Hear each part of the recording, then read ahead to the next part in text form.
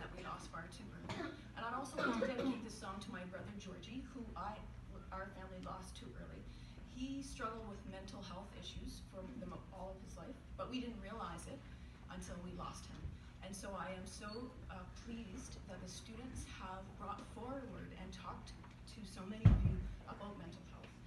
Because once you are aware of it, then you can do something about it. But when you aren't aware, then you lose people too soon.